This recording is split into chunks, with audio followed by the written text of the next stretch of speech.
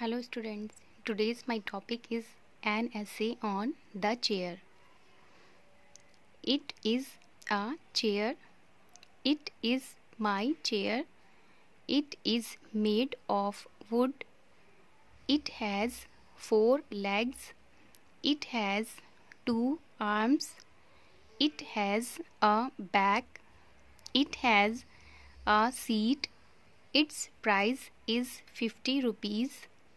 A carpenter made it. I like it very much.